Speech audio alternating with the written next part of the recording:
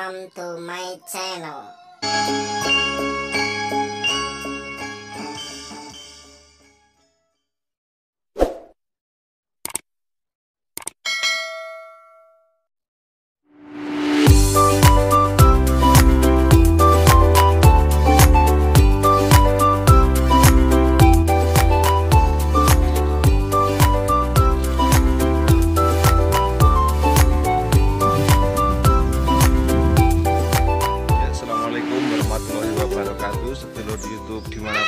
Berada Bertemu lagi dengan Angkringan Bodronoyo Channel Sarana informasi, promosi, dan juga hiburan di video kali ini saya ingin mengajak panjenengan sedaya untuk berjalan-jalan ke sebuah sumber mata air abadi yang berada di Kecamatan Praji Mantoro. Namun sebelumnya seperti biasa silahkan ditekan tombol subscribe dan dihidupkan loncengnya terlebih dahulu agar tidak ketinggalan update terbaru dari Angkringan Bodronoyo Channel. Sumber air beton merupakan salah satu sumber mata air yang terletak di Desa Tubokarto, Kecamatan Praji Mantoro, Kabupaten Wonogiri. Sumber air ini belum pernah sekalipun kering walaupun terjadi musim kemarau yang sangat panjang. Nama beton diambil dari nama biji buah kluwe. Menurut cerita yang saya dengar, konon sumber mata air ini ditemukan pertama kali oleh leluhur desa Tubokarto pada saat membuka godong kluwe.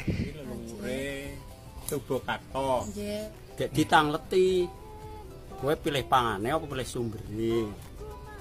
Wonten pilih sumbere ngoten. Nek enten sumbere kan buka godhong kowe. Adanya sumber mata air ini tentunya sangat berguna bagi masyarakat di Desa Tubokarto dan sekitarnya. Selain untuk keperluan sehari-hari, sumber mata air ini juga digunakan untuk mengairi persawahan dan juga untuk beternak ikan.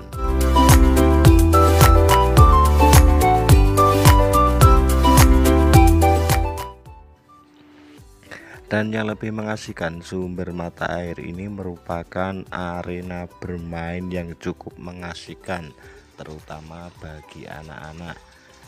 Di sini kita bisa berenang sepuasnya menikmati segarnya air di aliran kali beton ini.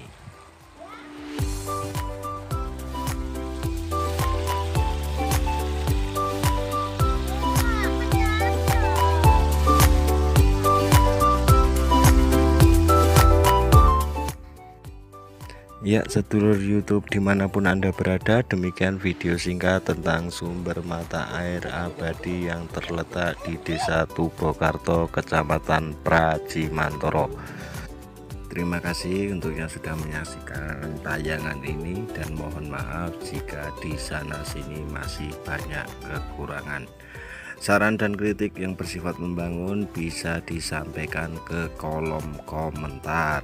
Akhir kata, wassalamualaikum warahmatullahi wabarakatuh.